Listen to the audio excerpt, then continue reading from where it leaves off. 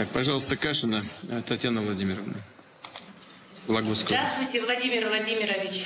Э, Вологодская область приветствует всех коллег и поздравляет с профессиональным праздником. У нас в Вологодской области работа с людьми пожилого возраста, инвалидами направлена на то, чтобы максимально оказать всю необходимую помощь человеку дома. Для этого мы применяем множество различных стационарозамещающих технологий, например, школа ухода, приемная семья для пожилого человека. Это услуги сиделки и другие.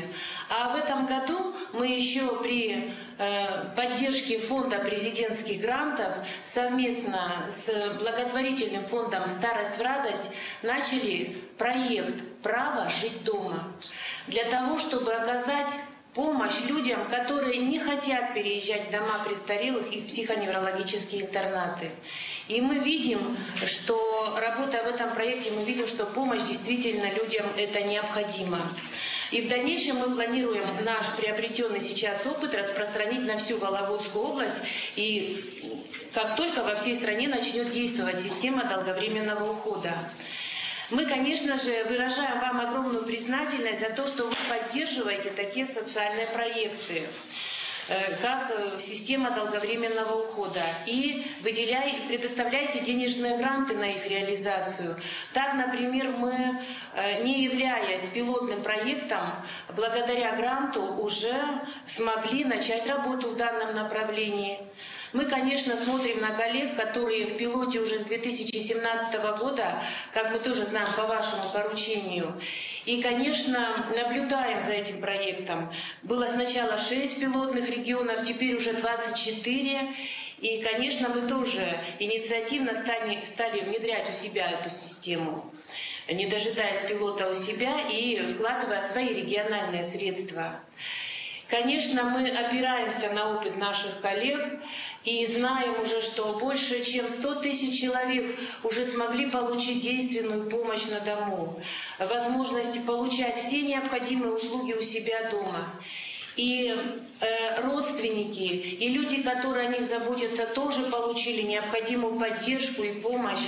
Но мы знаем, что таких людей в нашей стране миллионы, кому еще нужна такая помощь. И мы тоже, насколько знаем, сейчас в стране решается вопрос с финансированием такой системы.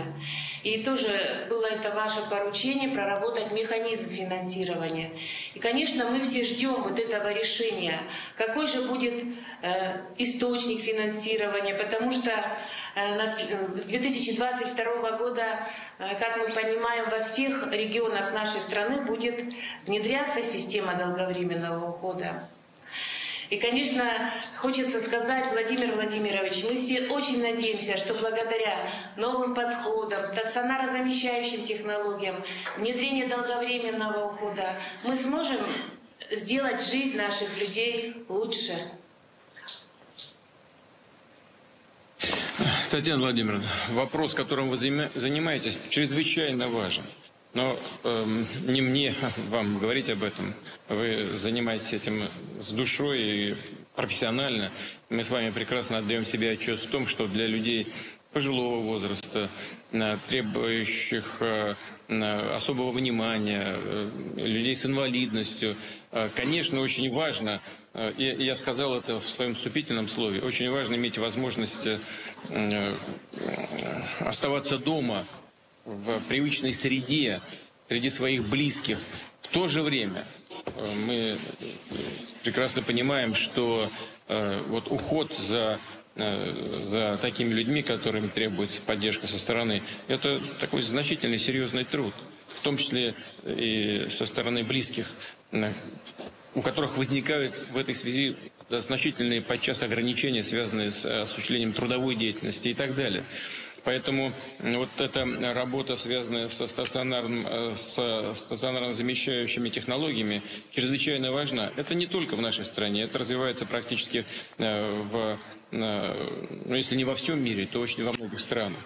И долгосрочная система ухода чрезвычайно важна. Ее нужно совершенствовать. Именно поэтому У нас было 6, сейчас 24 таких центра. И действительно, в 2022 году э, э, система таких э, центров должна покрыть всю территорию Российской Федерации. Минтруд правительство определяет источники для того, чтобы поддержать этот вид деятельности социальной поддержки. И мы будем обязательно это делать. В самое ближайшее время определимся и уверен, что те планы, о которых было сказано, а именно создать